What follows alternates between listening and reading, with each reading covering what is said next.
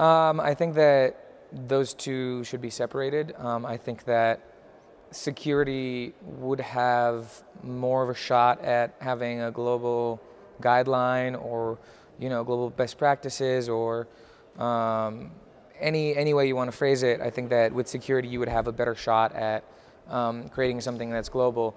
When it comes to ethics, I think that those are issues that are extremely culturally sensitive, and I think that they're um, as much as these issues permeate in specific regions. I think that um, it would be it would be very difficult from both from both sides to sort of push for a particular framework, um, either from the global north or global south, um, because there will be pushback from from the other side. So I think that for security there will be uh, we will get closer, if not actually have some sort of global standard or global best practices. Whereas for ethics, I think it'd be a lot more difficult.